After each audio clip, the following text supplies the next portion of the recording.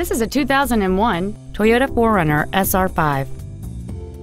It has a 3.4-liter six-cylinder engine, a four-speed automatic transmission, and the added capability of four-wheel drive.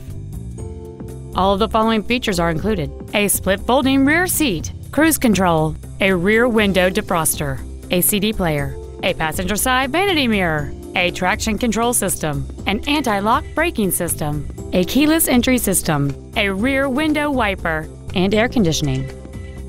Contact us today and schedule your opportunity to see this vehicle in person.